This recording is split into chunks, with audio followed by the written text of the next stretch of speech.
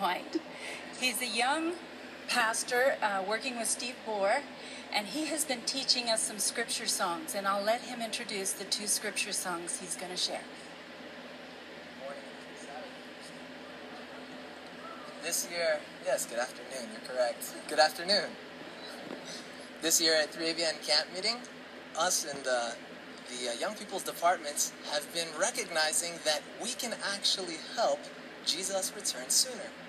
Because Jesus said that one of the things that must take place before he can return again is that the gospel must go to all the world for a witness unto all nations, and then the end shall come.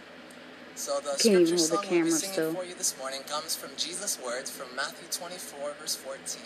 And the second verse is the fulfillment of those words in Revelation 14, verse 6, where John saw the angel flying in the midst of heaven.